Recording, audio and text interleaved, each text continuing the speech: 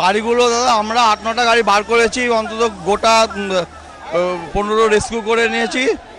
আর এখন যে চাপা পড়ে আছে এটা না সরার পর্যন্ত কিছু বোঝা যাচ্ছে না। আমরা যে কটা রেস্কিউ করেছি সব কটাই জীবিত ছিল। হ্যাঁ।